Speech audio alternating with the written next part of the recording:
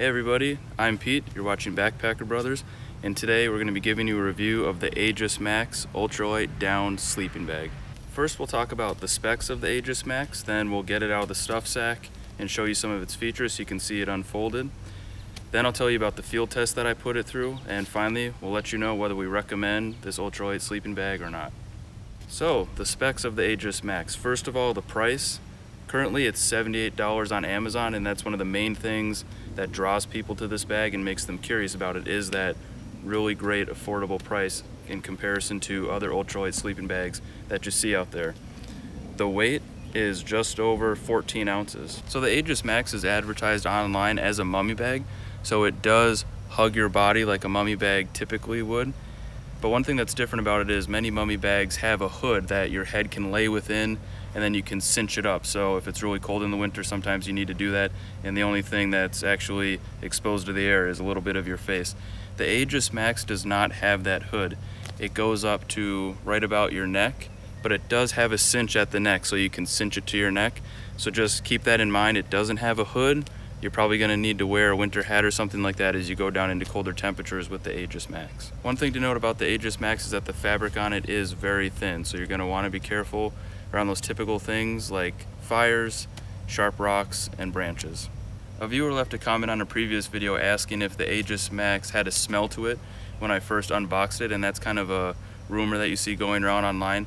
And actually, when I took it out for the first time and unfolded it and let it kind of loft up, I didn't smell anything and using it on our last trip, it didn't have a smell to it at that time either. So I could say my experience is the Aegis Max does not have a weird smell that some people talk about.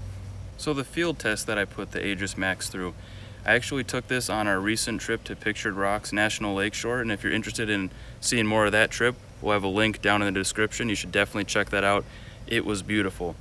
So that trip was three days, um, 44 miles, it was two nights in the Aegis Max, and the temperatures during the day were in the 70s.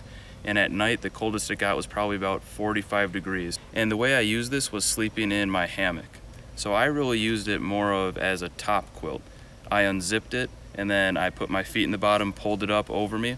And I have to say, it did exactly what it was advertised to do. I was super comfortable in those temperatures, no problem.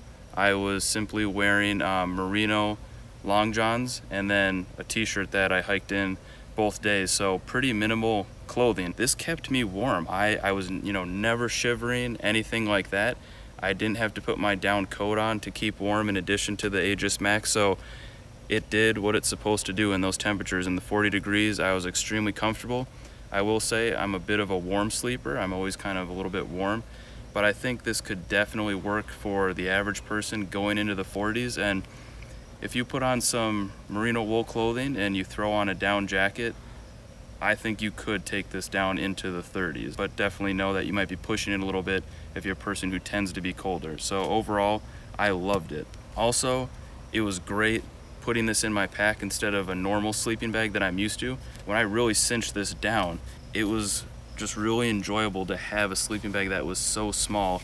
That was a major plus too. It packs down really small. So overall, Backpacker Brothers, we would recommend the Aegis Max. I was impressed with it out on the trail.